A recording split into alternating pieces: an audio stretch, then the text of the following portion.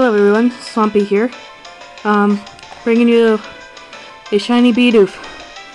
Good thing I was paying attention too, because I'm both watching TV and playing Platinum, as you can see here. See? Platinum. Okay. Well, good thing I was paying attention, because, sorry, I'm out of breath right now, but bear with me. Um, yeah. As you can see, it doesn't look like it's shiny, but since my Pokemon are too strong to attack I'm just gonna keep throwing luxury balls, hoping to catch it. And proof that it's shiny. And not cheated as well.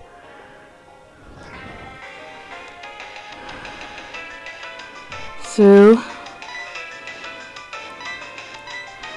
there's no way I can attack it. so, caught it. My third caught shiny ever.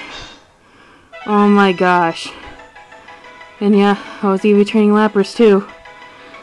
Oh. Um, I have no idea what its nature, but it's a female.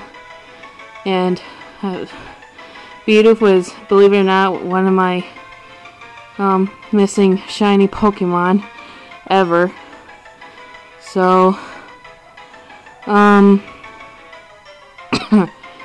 yeah, um, I won't nickname it for now, but, oh, it's gonna be at my party. Um, so, let me check it out then. Sorry, those are my dogs barking. They're stupider than... That has a calm nature. Um, unaware.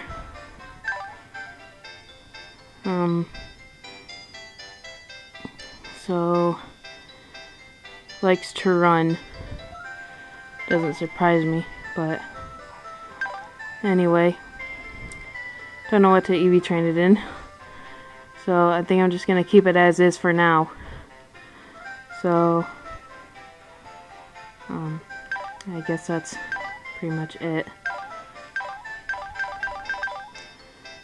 But, holy crap, my third caught shiny on diamond ever.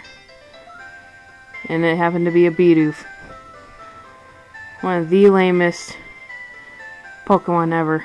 Sorry to actually admit that on camera. And, yeah. Well, that's it. Over and out. Bye.